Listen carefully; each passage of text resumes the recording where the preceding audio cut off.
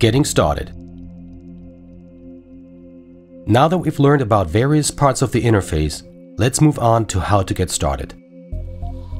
When you open Touch Creator and start a new project, this is how it will look. Your first step is to add the content by importing assets as we've already learned.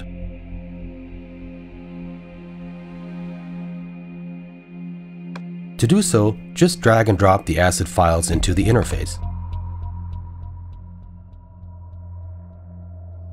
Now that we have a bit of content, we can start adding and structuring components.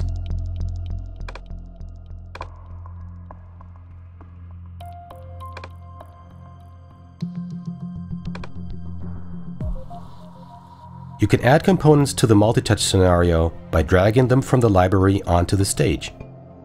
They will then appear in the Scene Manager. A scene component is automatically added when a new project is created, so you're ready to start adding components right away. Let's give our scene a background. We'll start by adding a layer onto the scene to use as a background.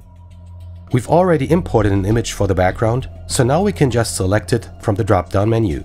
It's that easy. In this basic scene, we want to provide two videos and an image slideshow for our users. We'll start by dragging the first media player component onto the stage. Now we're ready to make some adjustments to its properties. In the layout properties, we can make changes to the appearance and position of the component. The touch behavior properties determine how the component will react with the user's touch. We want this media player to remain in place and the same size so that the users don't hide them. To do this, we'll just deselect the draggable option which by default also makes the component unable to be scaled or rotated. Now let's add content. Drag the video asset from the library into the playlist section.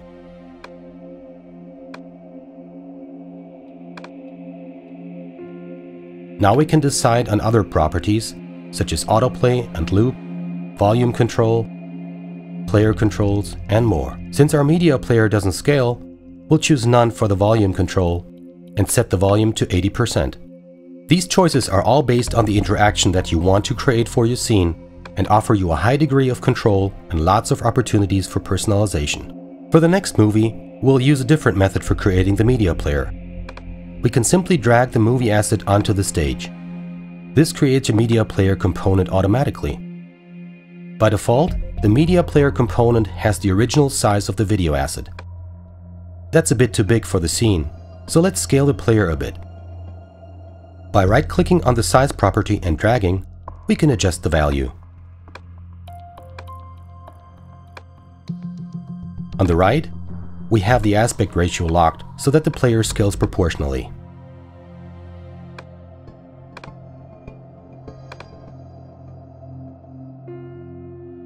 The last media player is a slideshow. We can set this up in the same way, but we'll first need to select several images and add them to the stage. The media player will automatically recognize the image assets and create a slideshow for us.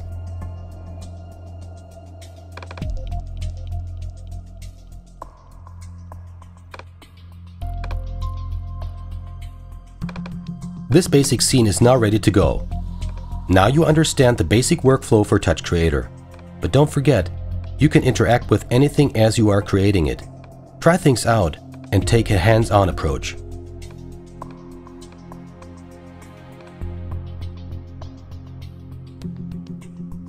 Just switch to the edit mode and back to the preview mode again to reset the scene.